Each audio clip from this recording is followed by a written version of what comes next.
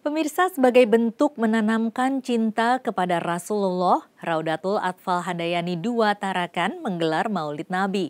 Walau dengan cara sederhana, para orang tua juga antusias dengan membantu menyiapkan hiasan telur-telur. Dengan penuh semangat, lantunan merdu salawat ini dibawakan oleh murid-murid dari RA Handayani II, Juwata Tarakan, Kalimantan Utara Salawat ini sebagai pembuka pada peringatan Maulid Nabi Muhammad SAW di sekolah mereka yang dihadiri tamu undangan dari perwakilan kantor agama dan orang tua murid. Tidak hanya bersolawat, para murid secara berkelompok juga tampil membacakan surat-surat pendek yang mereka hafalkan selama di sekolah. Dalam perayaan Maulid Nabi yang dilaksanakan dengan cara sederhana, para orang tua juga membantu dengan menyiapkan hiasan telur-telur. Dalam ceramahnya, Ustadz mengajak para orang tua untuk mendidik anak-anak dengan mengikuti sunnah Nabi dalam kehidupan sehari-hari, karena perilaku Nabi adalah suri tauladan yang baik.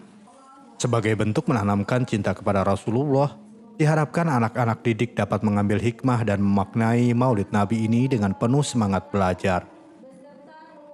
Harapan saya setelah anak-anak eh, menghadiri acara maulid ini, semoga anak-anak dapat mengambil hikmah dari acara maulid ini. Dan mudah-mudahan anak-anak bisa memaknai acara maulid ini bukan hanya pembagian telur aja atau acara berkumpul. Semoga acara ini ada hikmahnya buat anak-anak harapannya.